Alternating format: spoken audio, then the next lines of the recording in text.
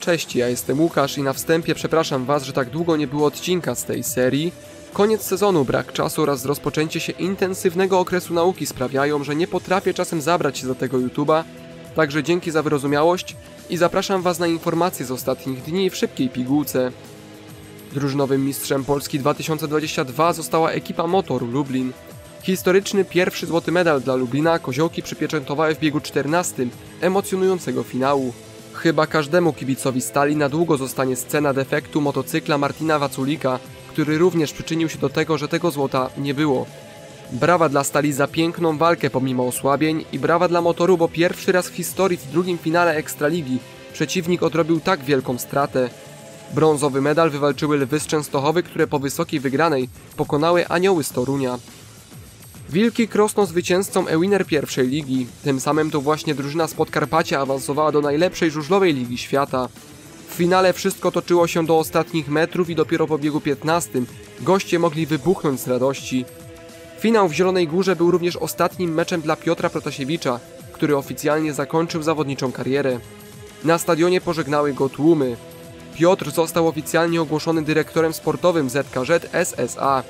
To było do przewidzenia, że Pepe tak łatwo nie rozstanie się ze swoim klubem. Życzymy powodzenia w nowej pracy. Powodzenia i dużo zdrowia życzymy też Maxowi Frike, który w owym finale pierwszej ligi wskutek upadku złamał mostek i łopatkę. Oby do wiosny wszystkie rany zostały mocno zasklepione. PSZ Poznań z awansem do pierwszej ligi. Na najniższym szczeblu rozgrywek Skorpiony spotkały się z kolejarzem Opole. Zaliczka poznaniaków była wysoka i ostatecznie wystarczyła do upragnionego awansu. Cykl Speedway Grand Prix 2022 również został zakończony. W ostatnim turnieju na motoarenie, który swoją drogą był świetny dla oka, aż miło było popatrzeć jak zawodnicy pięknie się ścigają, zwyciężył Martin Wasulik przed Bartoszem Zmarzlikiem i Leonem Madsenem. W klasyfikacji generalnej złoto już wcześniej zapewnił sobie Bartek, ale dopiero w sobotę oficjalnie złoto odebrał. Drugie miejsce już w trakcie zawodów zapewnił sobie Leon Madsen, ale walka o brąz toczyła się aż do półfinału. Wtedy to Maciej Magic Janowski popisał się genialną akcją z ostatniego miejsca na drugie i nie dość, że awansował do finału, to zapewnił sobie brąz Mistrzostw Świata. Zła passa w końcu została przerwana. Już nie król Maciej IV, tylko Magic III. Wielkie gratulacje dla obu Polaków oraz oczywiście dla Duńczyka.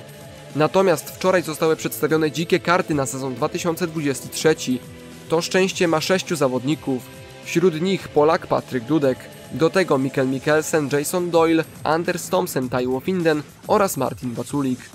Tym samym wiemy, że jedyne co zmieni się w cyklu to za Pawła Przedpełskiego występować będzie Kim Nilsson. Nie wliczam w to dzikie karty na każdą rundę osobno, bo to i tak zależeć będzie od organizatorów. Wyżej wspomniałem o tym, że Leon Madsen zajął drugie miejsce w indywidualnych mistrzostwach świata, a parę dni wcześniej duński lew został mistrzem Europy. Zwyciężył w cyklu SEK po raz drugi, udowadniając, że jest w formie. Ze srebrem skończył Polak Janusz Kołodzie, a na ostatniej prostej Mikkel Mikkelsen wyprzedził Patryka Dudka. Zakończył się również cykl Speedway Grand Prix 2, w którym najlepsi juniorzy walczyli o miano tego najlepszego. Faworytem przed ostatnią rundą był Mateusz Cierniak i faktycznie przewagi nie stracił aż do końca. To właśnie wychowanek Unitarnów, a obecnie zawodnik motoru Lublin został mistrzem świata juniorów. Drugie miejsce zajął czeski zawodnik Jan Kwech, a brązowy medal wywalczył Polak Jakub Miśkowiak. Zatrzymajmy się na chwilę przy Miśku, bo warto wspomnieć, że przed rundą w Toruniu obrońca tytułu zajmował dopiero ósme miejsce, a mimo tego skończył z medalem. Wielkie gratulacje. Niestety miejsca na podium zabrakło dla Wiktora Lamparta czy Mateusza Świdnickiego. Tak się składa, że łączy się z tym kolejny news. Do Mateusza Świdnickiego nieznany kibic nadesłał zażalenie po piątkowym finale oraz groźby skierowane w stronę zawodnika włókniarza. Mężczyzna miał pretensje do Mateusza, że ten odebrał Wiktorowi Lampardowi medal. Obyś chuju skończył na wózku. Ten fragment wzbudza najwięcej emocji, gdyż wyraźnie widać jak mężczyzna życzy Matiemu skończenia kariery. Możemy mieć tylko nadzieję, że do takich sytuacji nie będzie już dochodziło oraz że człowiek odpowiedzialny za te słowa zostanie jakkolwiek ukarany. Parę dni temu ważny dzień przeżywał Oliver Bernson. Żużlowiec Ostrowi na swoich mediach poinformował, że po raz drugi został tatą. Wielkie gratulacje i pociechy z nowego członka rodziny. Gratulujemy również zawodnikowi Unii Leszno Jamonowi Litsi, który parę dni temu oświadczył się swojej partnerce. Oby wpłynęło to na formę Australijczyka tylko w pozytywny sposób. Daniel Biuli wygrał z Latą Prilbe, czyli tradycyjny czeski turniej, coś na kształt naszego polskiego złotego kasku.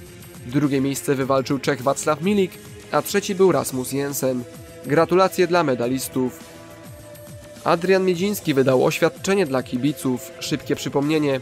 Zawodnik Polonii Bydgoszcz parę dni temu uległ fatalnemu wypadkowi, przez co konieczne było wprowadzenie go w stan śpiączki farmakologicznej. Na szczęście wszystko skończyło się dobrze, Adriana wybudzono, a zawodnik został zwolniony do domu. Parę dni temu żużlowiec wydał oświadczenie. Krótkim filmie dziękuję za wsparcie rodzinie, klubowi, sponsorom oraz wszystkim kibicom, zapowiadając, że chce wrócić na 101%. Życzymy Miedziakowi przede wszystkim dużo, dużo zdrowia. Zawodnik falubazu Zielona Góra, Neil Tuft, zakończył karierę. Młody zawodnik inaczej wyobrażał sobie ten sezon, który był dla niego po prostu kiepski. Ostatni raz w zawodach uczestniczył na początku lata, a wszystko to przez kontuzję. Po sześciu latach zawodnik powiedział dość. A skoro krążymy już w tym temacie, to pojawiają się pogłoski o tym, że Emil Sajfudinow ma zakończyć karierę, jeśli tylko nie zostanie w tym roku dopuszczony do startów. Jak wiemy, Rosjanin został zawieszony i nie miał możliwości zarabiania ani w polskiej lidze, ani w Grand Prix. Temat jest ciekawy, bo Emil, podobnie jak Artiu Maguta, posiadają polskie obywatelstwa. Zawodnik Apatora zdaje sobie sprawę z tego, że nie może czekać w nieskończoność i krążą plotki, że jeśli zabronione mu będzie startować w przyszłym sezonie, to on zakończy karierę. Władze Apatora są przekonane, że za rok zobaczą Emila na torze w swoich szeregach. Czy według Was tak powinno się stać? Dajcie znać w komentarzu. Newsy, newsy, transferowe newsy. Skoro sezon za nami, to niedługo ruszymy ze specjalnymi odcinkami, w których będę omawiał spekulacje, przewidywania czy plotki transferowe, tak żeby nie zasypywać tym tematem serii Speedway News. Jednak jeden transfer pozwolę sobie tutaj omówić, a jest to transfer nie byle kogo, bo trzykrotnego mistrza świata Bartosza z Marzlika. Tę informację potwierdził sam prezes motoru Lublin Jakub Kępa tuż po wygraniu finału Ekstraligi. Z Bartkiem mamy bardzo dobry kontakt, a drużyna z pewnością za rok będzie mocniejsza. Czas pokaże, czy ten transfer to będzie dobra decyzja. Oficjalnie więc sprawdziło się to, o czym mówiono już kilka ładnych tygodni temu. Trzykrotny mistrz świata Bartosz Zmarzlik dołącza do motoru Lublin. Tym samym motor w swoim składzie będzie posiadać dwóch mistrzów świata. Mamy tu na uwadze również mistrza świata juniorów Mateusza Cierniaka. Na dogłębniejszą analizę składu, wnioski czy przewidywania przyjdzie jeszcze czas. Tak jak czas przyszedł na koniec tego odcinka, więc jeśli Wam się spodobało, to zachęcam do subskrypcji kanału Czarny Sport. Pozdrawiam wspierających i do następnego odcinka albo live'a. Na razie, cześć!